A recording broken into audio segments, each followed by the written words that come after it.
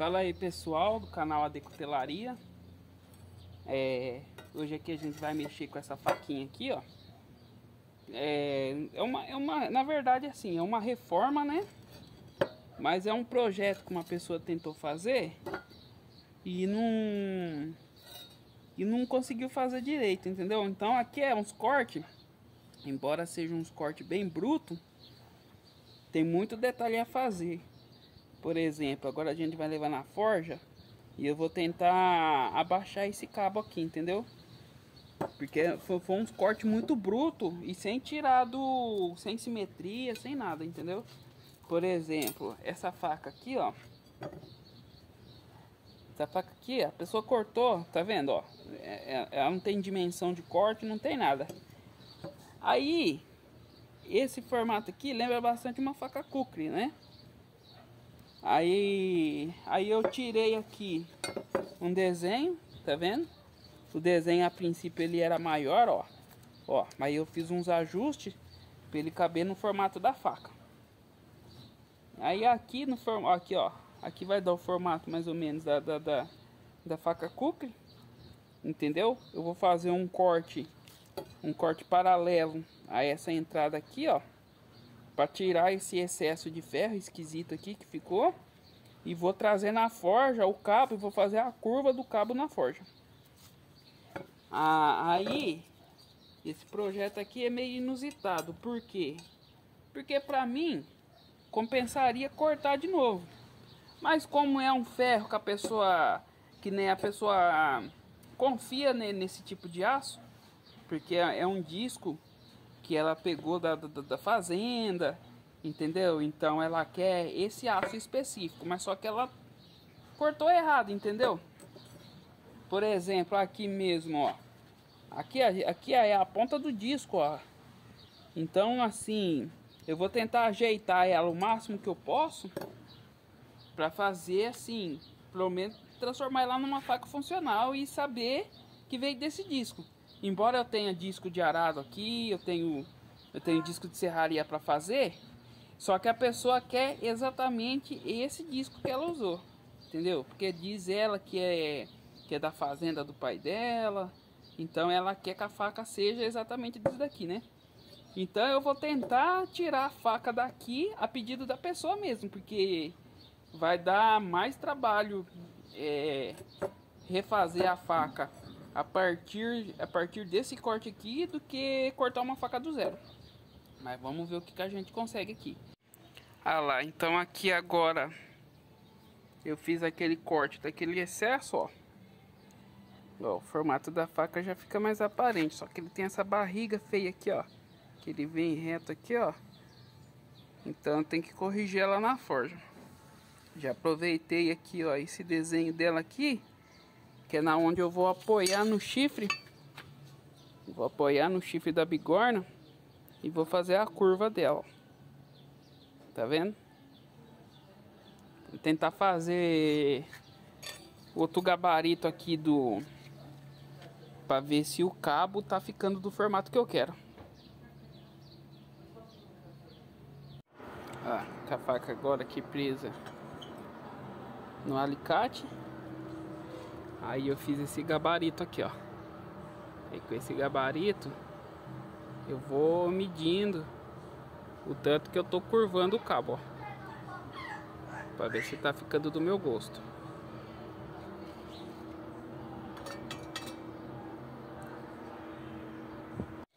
Então pessoal, eu vou estar tá ligando a forja ali e vou tentar capturar a imagem o máximo que der. Aí se o celular desligar por causa do, do aquecimento, aí pelo menos já tem o começo da imagem gravado. Mas o celular tá na sombra, tá longe e tá com zoom de duas vezes, né? Vamos ver se ele não desliga a gravação. Aí eu vou começar ali.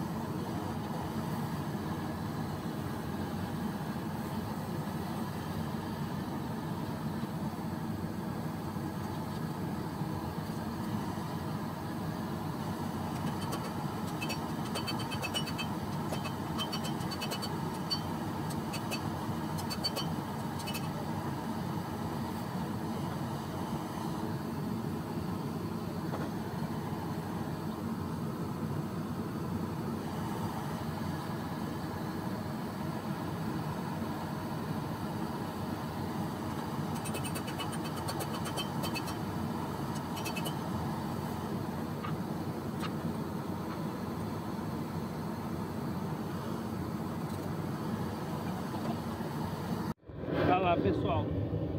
A curva ficou mais ou menos onde que eu queria. Só que eu ainda vou ter que fazer mais adaptações para o cabo. Aí agora vou ter que re redesenhar ela, né? Para fazer o cabo maior, porque essa ponta do cabo dela é fina. Entendeu? Mas ó, deu para curvar ela um pouquinho, ó, ela já ficou com a aparência da boa já, ó. Ficou bem mais próximo da faca. Pronto, aqui já tá a faca com a curva forjada. Só que tinha uma ponta muito fina. Deixa eu pegar a ponta ali. Aqui, ó. Eu tive que sacrificar essa ponta da faca aqui, ó. Olha lá. Porque ela é a ponta do disco. Tá vendo como que dá mais trabalho? Pra poder recuperar um pouco mais de, de cabo. Aí agora eu vou ter que cortar aqui Aí vai sacrificar o tamanho da lâmina, né? Aí ela vai perder em lâmina, mas vai ganhar mais um pouco de cabo. Aí eu redesenhei ela novamente, já é o ter a terceira ou a quarta vez que eu redesenho ela. Entendeu? Aí aqui, ó, para fazer a ponta da cucre, só aqui, ó. Entendeu? Ela vai perder tudo isso daqui de material. Ela vai ficar uma faca bem menor. Mas vai ter o formato da cookie. Entendeu? Mas tem que usar o mesmo aço. Mas eu já peguei o gabarito do desenho dela. E vou fazer uma do tamanho real. Mas vamos reformar essa daqui primeiro. Ah lá, estão terminados aqui os cortes, né? Depois da... Depois da, da, da, da forja. Aqui, ó, a boi. Infelizmente, ela ficou menor de lâmina, mas eu tive que sacrificar ela, né? Como eu, eu havia dito, tive que sacrificar a ponta dela, que estava muito fina, para aumentar o cabo, senão ela ia ficar muito curta. Mas ela ficou bem próximo do gabarito, ó. Tá vendo, ó? Ó, então, ó. Ó, o tamanho de cabo, ó. Ó. Tem uma pega levemente bem ajustada, ó, levemente sobrando. Então, dependendo do tamanho da mão, se for uma mão muito grande, vai parecer pequeno o cabo, né? Mas é o que deu para fazer para recuperar a faca. Aí, pro cabo ter um tamanho bom, eu tive que sacrificar um pouco da lâmina, ó. Tive que sacrificar mais ou menos uma polegada da lâmina né? Pra poder ter o cabo, senão a faca não ia ter o cabo. Mas ficou perto dos parâmetros. Ó, e o cutelo. Ó, o cutelinho também tá, tá um corte da hora. Ele tá meio... Ele tá meio assimétrico, né? Por causa que, né? Não deu pra fazer muita coisa nele. Entendeu? É... Se eu fosse fazer a ponta, essa ponta aqui, aqui fazer, na verdade era para ser o contrário, né? É para essa ponta menor aqui ser aqui, mas só que como ela ia ficar uma curva muito abrupta, entendeu? Então eu preferi deixar essa quebra aqui para ficar como peso, né? Porque o peso, o peso do cutelo vai estar tá todo aqui. Mas dá para trabalhar também. Se quiser trabalhar assim, ó. Eu acho que dá pra, também para trabalhar ao contrário. Vai depender, né? É o que deu para fazer no cutelo. Isso aqui tá bem assimétrico, ó. Se você seguir o, o, o parâmetro do furo, ó. Ó, vou alinhar o furo com a linha da câmera, ó. Você vê, ó. Ele tá torto, torto pra lá. Ele tem mais coisa sobrando pra cá. Então, dá pra arrumar mais algumas coisas. Não sei se eu vou quebrar essa ponta aqui, ó. Pra aparecer menos com disco, ela tá muito, muito grossa. Vamos ver se eu, se eu deixo ela mais alinhada com o furo. Dá pra fazer mais alguma coisa, né? Tem que dar uma... A, a, a lixadeira não pega aqui, ó, por causa dessa curva aqui. Ela não entra aqui, então vou ter que limar bastante. Ó, tá vendo? Aqui ela tá com a curva normal, aqui ela fez uma barriga. Ó, mas dá pra... Mas já é alguma coisa, né? Se esse cabo aqui...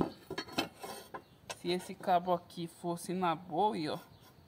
Na cucre, né? Ia ficar bem melhor, ó. Eu precisava desse tanto de cabo, ó. Entendeu? Eu achei ela muito pequena de cabo.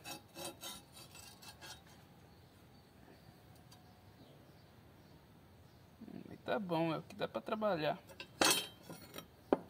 Aí agora vamos fazer os furos nela. Nos cabos. Alinhar as partes de lima, né? E vamos ver como que vai ficar. Mexer mais um pouco nelas. Olha lá. Dado continuidade às facas. Eu esqueci de filmar essa daqui. Como essa daqui eu não levei na forja Aí eu acabei esquecendo de, de filmar ela, porque ela é mais simples, né? Eu só ajeitei o cabo dela. Só que essa faca ainda, ela ainda tá dura. Então eu só consegui fazer um furo nela aqui. Entendeu? Porque eu não normalizei ela. Aí a cucre, a cucre e o cutelo, eu já consegui furar muito de boa. Porque porque eu levei ela na forcha e acabou normalizando o aço. Então deu pra furar de boa. Tão de boa que ela fez um, um cabelinho de aço enorme, enorme. Quer ver? Eu vou pegar ali. Ah lá. As facas furou tão bem, tão bem, que olha o tamanho dos cabelos que fez. Esse ainda não é dos maiores, porque meu menino gostou tanto de, do, do, dos cabelos que ele pegou, mas outro era mais ou menos desse tamanho aqui, assim, ó. Foi quase o furo inteiro, sem quebrar. Tá vendo? Furou bem pra caramba. Aí eu vou temperar elas agora, né? Já tá feito o fio. O, é, é, elas estão com um milímetro de grossura, né? Pra têmpera, né? Um gume mais alto de praxe pra faca, né? E pro cutelo o gume mais curtinho, porque o cutelo vai vai fazer pancada, né? Então ele precisa de um gume mais estreito, né? Pro fio aguentar as pancadas. Tá vendo? Essa faca aqui é... Ela tá meio torta, porque essa daqui, pela espessura dela, é a que menos deu pra arrumar, sabe? Mas tá bom. Aí aqui eu já tô com as talas, né?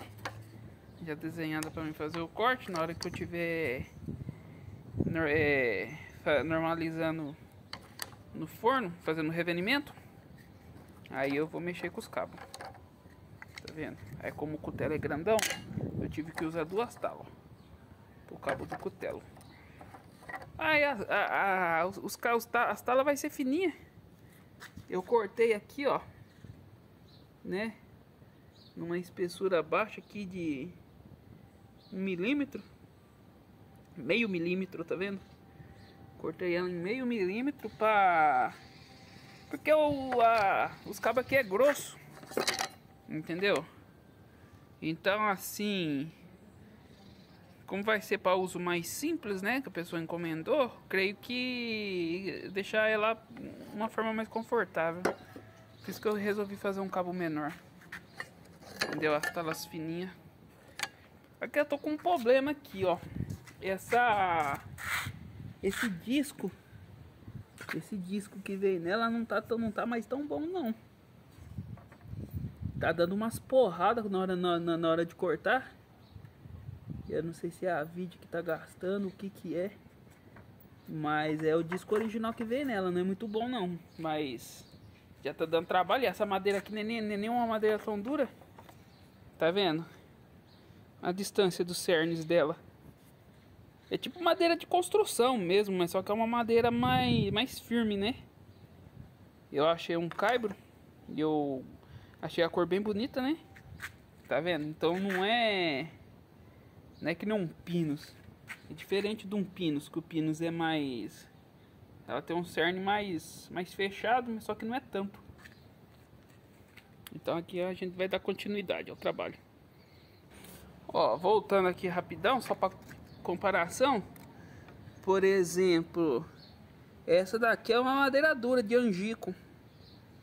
Tá vendo? Eu olhando assim, a, a, distância do cerne dela e a distância dessa madeira, não tá muito longe não. Ela é um pouco mais leve, é um pouco mais leve, mas é quando você bate assim, ó, ó.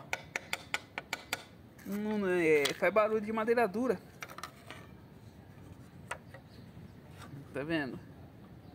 Ó, quando você compara assim, ó, o cerne dela, ó, tá vendo? Não tá muito diferente da do angico. Mas assim, é uma madeira mais clara, né? Mas quando passar o óleo, ela vai pegar uma corzinha diferente, meio alaranjada. Vai ficar, não vai ficar essa cor branca para sempre não. Ah lá, já tá ligada a forja. Eu vou, vou deixar aqui, ó, a faca que eu tenho que normalizar primeiro. Deixar ela esquentando ali junto com o ferro que eu vou esquentar o óleo. Aí, enquanto ela vai esfriando, esquentou, tem duas facas para temperar. Enquanto ela vai esquentando e esfriando, eu vou temperando as outras e termino e tempero ela por último.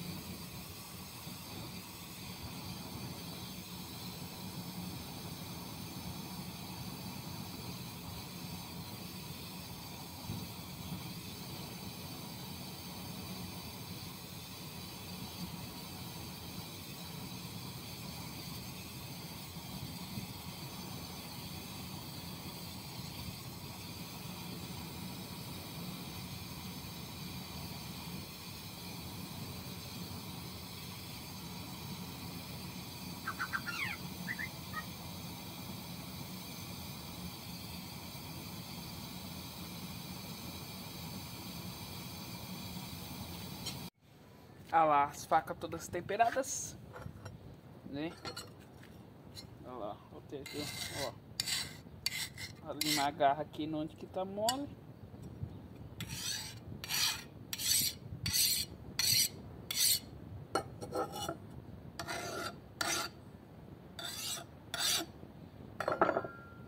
Temperadinha, a ó.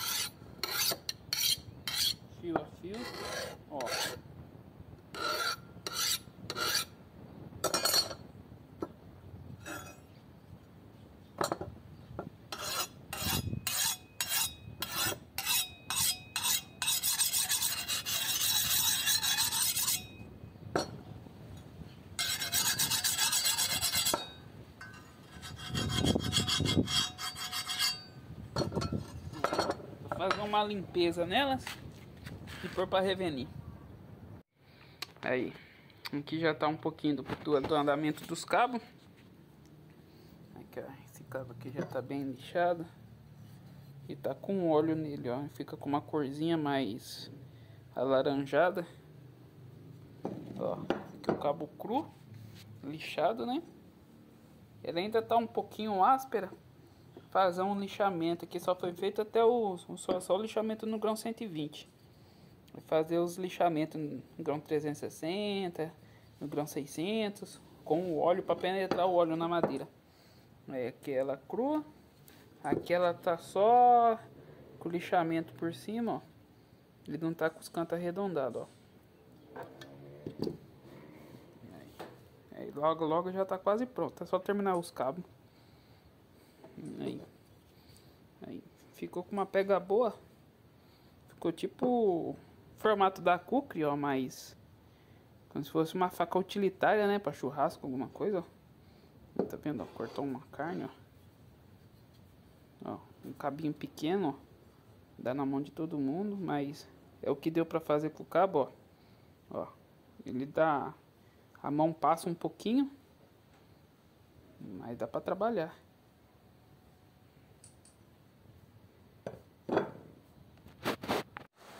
Olha lá, pessoal, então, terminadas as facas aqui, né? Acabamento ficou bom. Eu gostei desse acabamento que eu fiz. É, é assim, tá um acabamento bem bruto, tá vendo? Tá vendo? Com as marquinhas aqui, ó. Com risco, com tudo, mas é de prioridade mais na fiação da faca mesmo, né? É... Tanto que ela tá com a marca do óleo ainda, ó. Tá vendo? Eu não limpei ela. Só em cima mesmo, ó. Pra tirar leves riscos. Pra acompanhar com a marca do cabo, né? Mas porque a intenção da faca é deixar ela bruta mesmo, sabe? Com essa aparência bruta.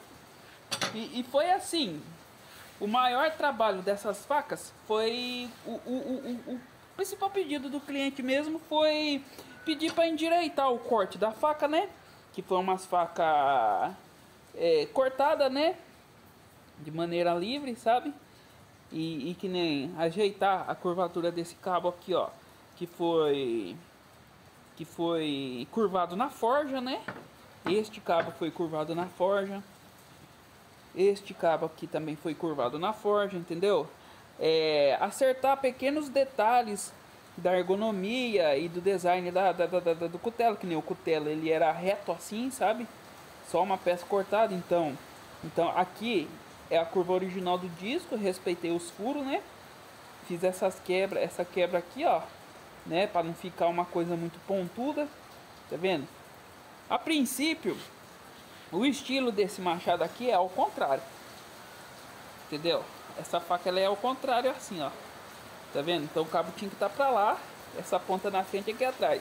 Mas como não deu por causa do formato do disco, não me permitiu muito, ele ficou ficou mais assim, para um um mini machado do que para um cutelo, entendeu? Mas assim, ficou muito bom. Mantei essa, as carepas da, do óleo, né? Da têmpera. E, e fiz a, o revenimento no forno com o óleo sem limpar a peça então tá bem impregnado. Isso daqui não sai tão fácil, só se lixar. E no caso aqui eu acabei errando o disco e acabou pegando, fazendo esse desenho aqui. Mas assim, ficou com característica de bruto de forja, ó, tá vendo, ó? Ó. Tá vendo? Não tem nenhum ferrugem, a peça foi toda limpada no disco de aço. Tá vendo? Então, esses furos aqui que seriam pontos de ferrugem, não vai enferrujar, porque a peça tá toda protegida pelo óleo. Tá vendo, ó? Ó, desbastado só até aqui, né? Porque tem que desbastar, né? Pra fazer o cabo, né? Então essa, esse pedaço aqui não tem como ele ser preto igual a faca, né? Mas tá passado um óleo também, né? Pra proteger, pra não enferrujar tanto. Essa daqui foi a que, que menos deu trabalho, né? Tanto que eu nem tenho o vídeo dela. Essa peça aqui, ó, ela já tava certa, né? O cabo dela ela estava cortada aqui e tava com esse cabo curto. Eu só fiz essa entrada aqui para dentro, ó, tá vendo? ó, ó, onde que encaixa o dedo aqui, ó. Aí depois eu não fiz mais nada nela. Só a fiação. Entendeu? Essa daqui não foi forjada. Não, não, não foi curvada na forja nem nada. Essa é a peça que estava mais inteira, entendeu? Mais integral. Ó. Então vamos fazer o teste aqui dos cortes dela rapidão. Para encerrar o vídeo. Ó. Ó.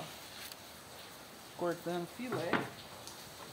Essa daqui não é que ela corta, não corta bem. Mas é que a, o formato do fio dela não é um formato bom para corte, entendeu? Então ela acaba enroscando na barriga dela, ó. Ó. Ó, começar da barriga dela, ela não corta bem. Mas se fazer assim. Ó. Ó. Aí dá um pouquinho de barulho de chuva, que tá chovendo bastante agora.